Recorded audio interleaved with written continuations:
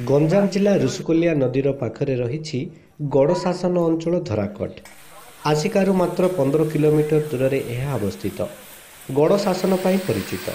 ଐତିହାସିକ ଗଡ଼ ବୋଲି ସ୍ୱତନ୍ତ୍ର ସ୍ଥାନ ସାଙ୍ଗକୁ ସୌନ୍ଦର୍ଯ୍ୟ ଭରା ଜଙ୍ଗଲ ଓ ମନୋରମ ପରିବେଶ। ଛୋଟ ବଡ଼ ଅନେକ ଜାଗା ରହିଛି ଯେଉଁଗୁଡ଼ିକ ନିଶ୍ଚିତ ଦେଖିବା କଥା। ଆକର୍ଷଣୀୟ ସ୍ଥାନ ଏବଂ ପିକନିକ୍ ପାଇଁ ଜଙ୍ଗଲ ପରିବେଶ ଭରା କାଠୁଳିଆ ଶାନ୍ତିଝର ଓ ଗଡ଼ଚଣ୍ଡୀ ଆକୃଷ୍ଟ କରିଛି। ଏଠାକୁ ହଜାର ହଜାର ପର୍ଯ୍ୟଟକ ପିକନିକ୍ ପାଇଁ ଆସୁଥିବାରୁ ପର୍ଯ୍ୟଟନସ୍ଥଳୀ ମାନ୍ୟତା ଦାବି କରାଯାଇଛି। ଗଞ୍ଜାମ ଜିଲ୍ଲା ଧରାକୋଟ କନ୍ଧରାଜାଙ୍କ ଇଷ୍ଟଦେବୀ କୋଠରୀ ମନ୍ଦିର ପଶ୍ଚିମ ପାହାଡ଼ ପାଦଦେଶରେ କାଠୁଳିଆ ଶାନ୍ତିଝର ଅବସ୍ଥିତ।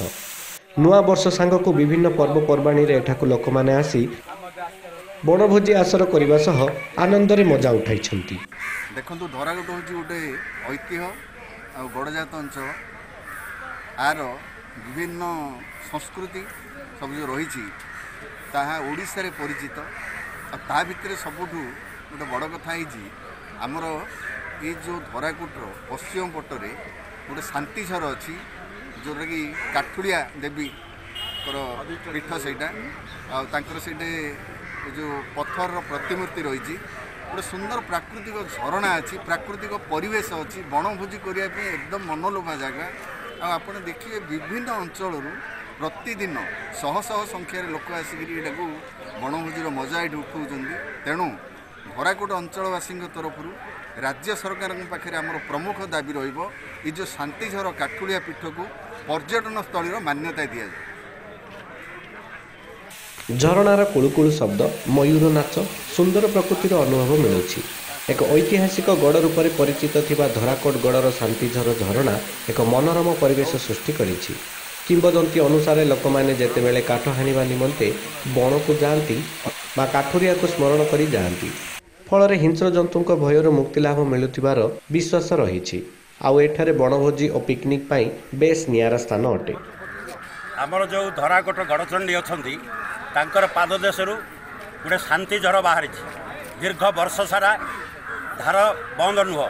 ଆଉ ଲୋକେ ବହୁତ ବଣଭୋଜି ଆଉ ପିକନିକ୍ କରିବା ପାଇଁ ସେଇ ଜାଗାକୁ ଆସନ୍ତି। ଆଉ ସେଇଠି ମା କାଠୁଳିଆଙ୍କର ପୀଠ ତଳେ ଆଉ ଉପରେ ମା ଗଡ଼ଚଣ୍ଡୀଙ୍କର ଆଉ ରାଜା ଅମଳରୁ ସେଠି ତା'ର ବି ସୁରକ୍ଷା ପାଇଁ କିଛି ବନ୍ଦୋବସ୍ତ ହେଇଛି। ସେଠି ଗୋଟେ ପ୍ରାକୃତିକ ଦଲା ରହିଛି। ଆଉ ସେଠି ବି ଆପଣ ବର୍ଷା ଶୀତ କାକରରେ ବି ରହିପାରିବେ।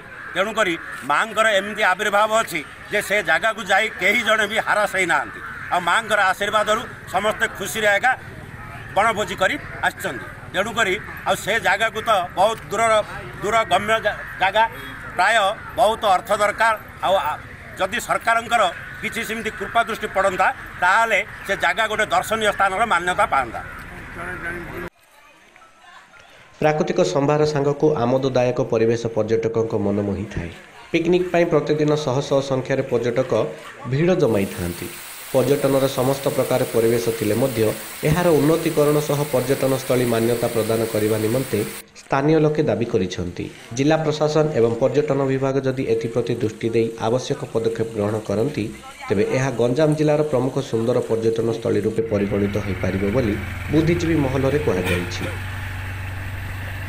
ଗଞ୍ଜାମ ଜିଲ୍ଲା ଆସିକାରୁ ସନାତନ ବେହେରାଙ୍କ ରିପୋର୍ଟ ଉତ୍କଳ ଖବର।